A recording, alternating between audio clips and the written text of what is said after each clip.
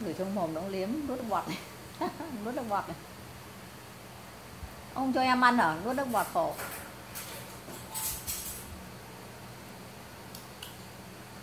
Không cho thì thôi, không thèm.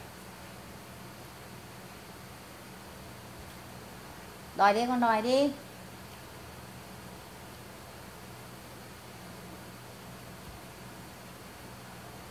Đưa đây.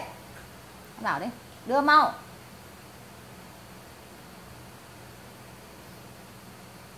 Không cần cháu trả đây mà phải để cháu mà bỏ ra